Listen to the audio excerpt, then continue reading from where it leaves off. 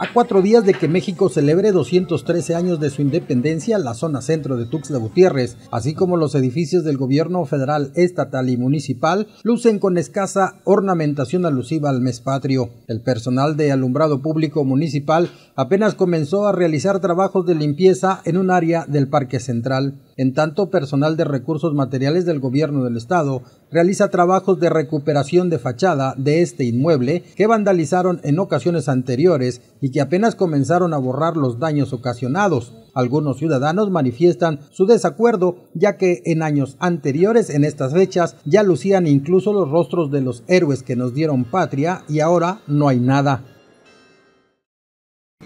Pues le hace falta más detalles. ¿Cómo cuáles? Los alumbrados, eh, toda la papelería que va colgada, los, los héroes, que todavía no hay nada. Pues le falta mucho. En otras ocasiones, en otros gobiernos, este, se vea mejor, más bonito. Pues ahora como que le está faltando. La veo muy triste, ya debía estar en todo su esplendor ya. Estamos un poquito atrasados.